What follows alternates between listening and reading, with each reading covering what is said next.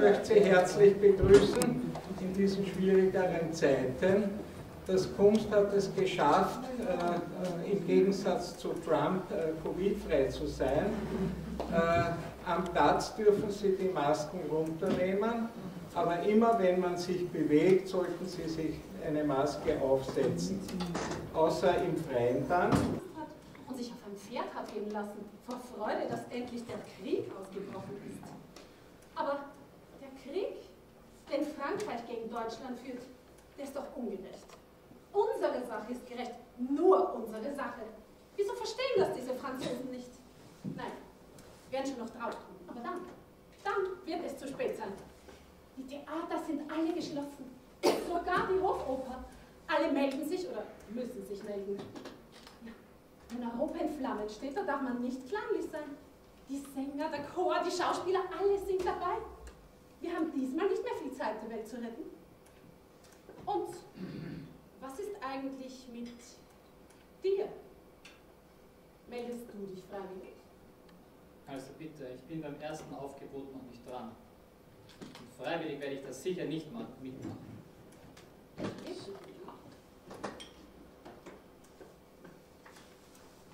Eigentlich wollte ich mir ja eine Pianistin suchen, aber wenn du schon einmal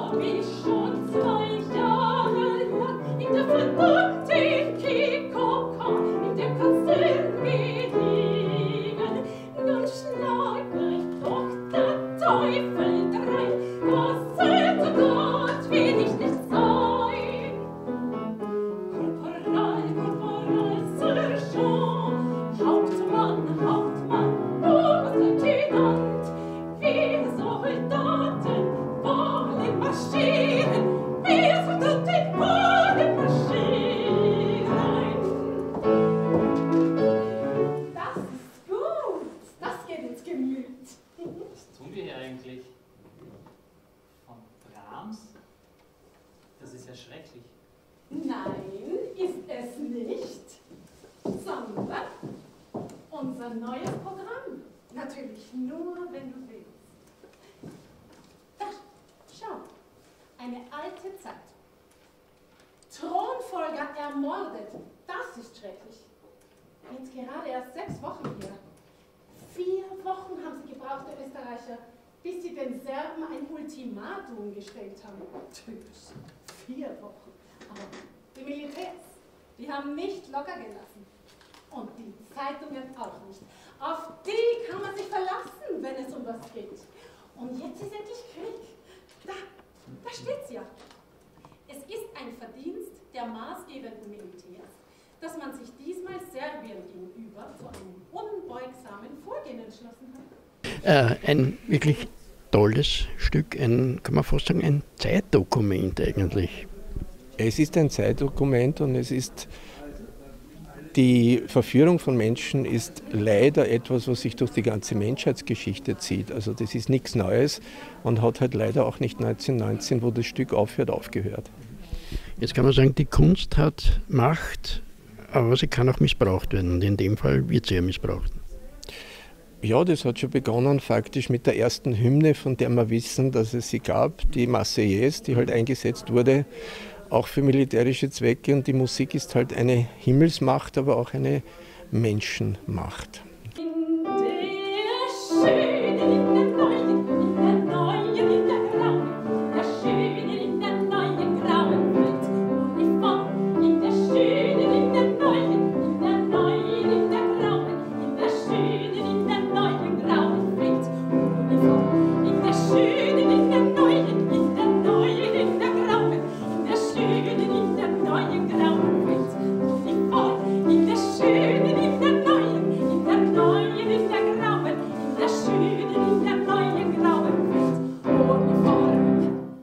Und wie, er gesagt hat, äh, die Welt ist in die Hände der Menschen gefallen und die Musik ja auch. Absolut, ja.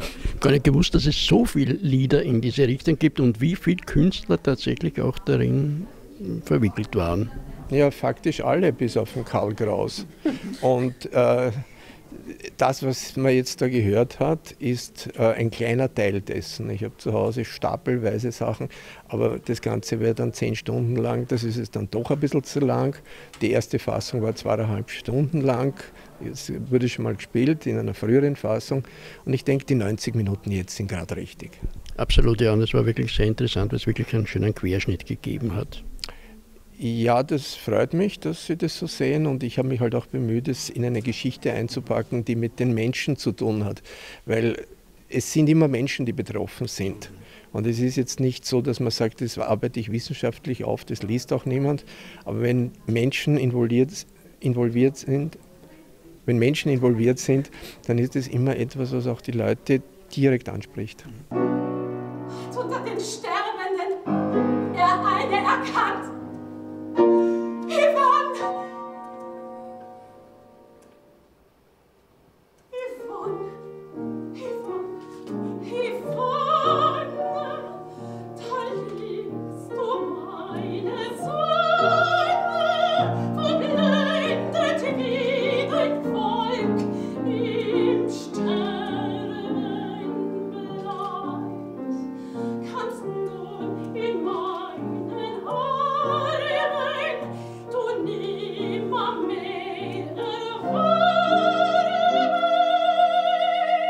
Weil es eben Menschen involviert sind.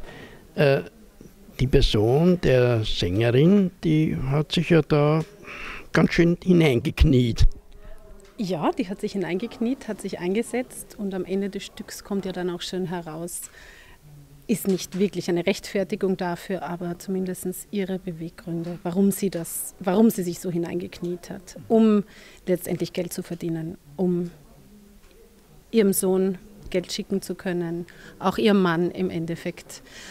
Und ähm, damit rechtfertigt sie vor sich selbst im Endeffekt diese ganze Propaganda, die sie mitbetreibt. Und im Zuge dieser Geschichte wird, gewinnt sie den Fritz dann doch recht lieb. Ähm, genau. Und erst als er dann wirklich weg ist, merkt sie, wie sehr er ihr gefehlt hatte. Dieses motorisierte Geschütz von Ferdinand Porsche, den ich heute Abend auch hier begrüßen möchte, ihm zu Ehren die Dolomitenmacht. Wir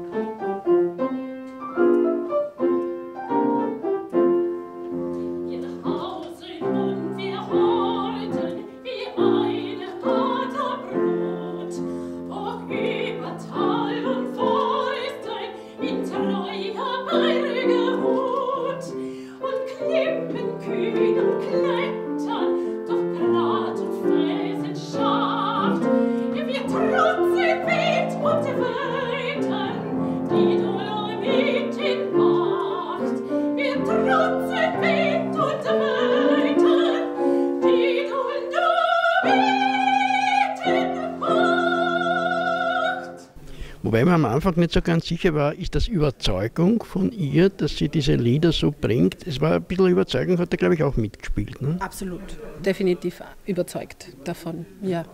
Also ja, stimmt. Zu Beginn ist sie hundertprozentig davon überzeugt. Sie findet, das ist was Gutes, was Tolles. Das ist bei allen diesen Dingen, am Anfang ist man euphorisch und mit zunehmenden Problemen äh, schwindet das dann. Jetzt haben wir die, die Person des äh, Russentod. Kommst mir langsam vor wie ein Frontsoldat. Von oben bis unten voll mit Dreck. Mit Dreck, aber moralisch. Ich weiß ja, du kämpfst auch, aber du wirst immer mehr hineingezogen. Komm mir nicht moralisch. Da. Sei froh, dass ich dir wieder deinen Schein besorgt habe. Du bist nach wie vor von öffentlichem deutschen Interesse und daher nicht im Schatten enthalten. Wäre es dir lieber, woanders als hier bei mir für Militärzwecke zu arbeiten? Weißt du, was Rilke unlängst geschrieben hat? Die böse Lüge ist seit einem Jahr sicher oft die Ursache wirklichen Geschehens geworden.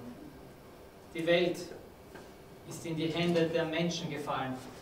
Die Dichter dichten oder schreiben der Zeitung. Die Komponisten komponieren. Und du spielst für mich Klavier! Von Anfang an ja gar nicht so wirklich begeistert war von der Idee, aber ich meine, im Krieg ziehen, in, vor allem in einem sinnlosen Krieg, was er nämlich an schon vermutet hat, da sucht man dann Hilfe in irgendeiner Form. Ja, der Fritz ist der, der das eigentlich durchschaut, mehr oder weniger von Anfang an, zumindest diese, diese Propaganda und da hat er sich halt immer dagegen gewehrt. Er ist sozusagen der Verschwörungstheoretiker von heute nicht?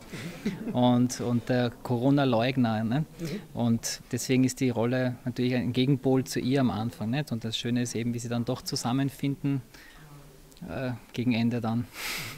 In solchen Situationen ist es dann meistens, dass, dass, dass, äh, dass das Schicksal dann so erbarmungslos zuschlägt, eigentlich, wenn man sagt, ja, ich mache es eigentlich für meinen Sohn und der dann aber in, gerade in dieser Maschinerie dann ums Leben kommt. Ne?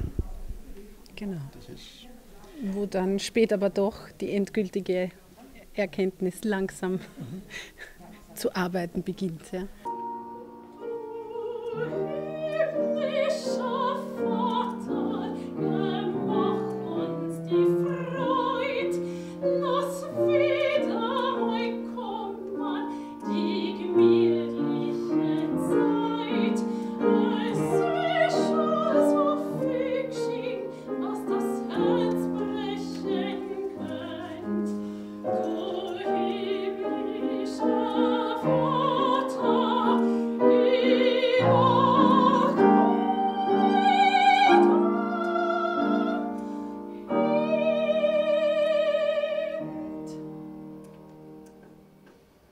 Sollte man glauben, dass äh, nach 1918 äh, eigentlich die Leute gescheiter worden sind und sich nicht mehr durch Musik oder durch Kunst oder überhaupt verblenden haben lassen.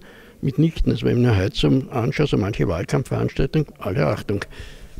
Das ist eben das Spannende daran, dass es sehr aktuell ist. Also wir haben eben nicht schlecht geschaut, also wo das zum ersten Mal das Skript bekommen habe, na, wo dann die Zeit, wie sie halt jetzt ist, dann so richtig in die Blüte gekommen ist, da haben wir nicht schlecht geschaut, wie viele Parallelen da eigentlich sind. Nicht? Also deswegen ist es durchaus ein sehr aktuelles Stück.